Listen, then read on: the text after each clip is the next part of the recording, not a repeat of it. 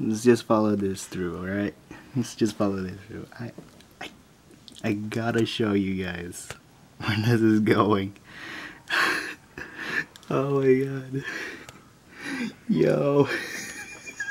so this is the keyboard, mouse is on the bottom, this is just the D sub connected to this monitor. Power is off right now, but I've already had it on about twice now. There's no SSD or a hard drive or anything in here just yet. But what we got going is this is a Corsair H50 with a jerry-rigged cooler in the back or um, fan in the back. This is seriously jerry-rigged by freaking twist ties. This and this, or yeah, this thing is a twist tie. This is where the hard drive or SSD would be connected to, but I don't have one yet. Where am I going to put the hard drive or the SSD? I don't know. But and so for damn sure that there's no graphics that's to go on this. So I'm to make a cardboard platform on top of the PCIe ports. Put the SSD and hard drive right on top of each other. Put that there, or just a hard drive, or an SSD, or something. So yeah, this is good board.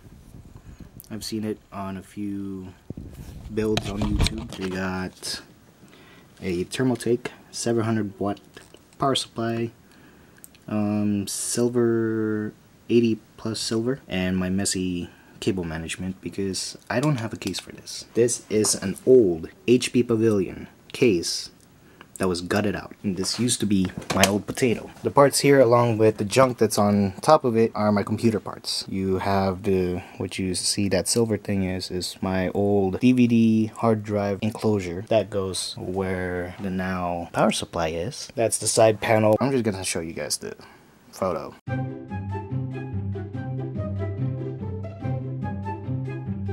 Hope you guys enjoyed that potato. So, does it work?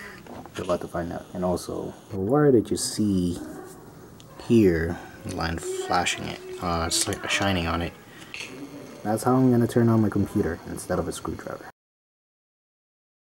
This is the former eject button for the DVD CD player that used to be in my potato. Let's see her spin.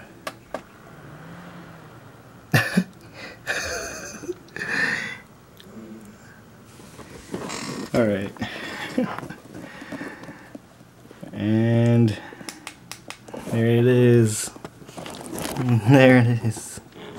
So we have entered the BIOS. Motherboard works.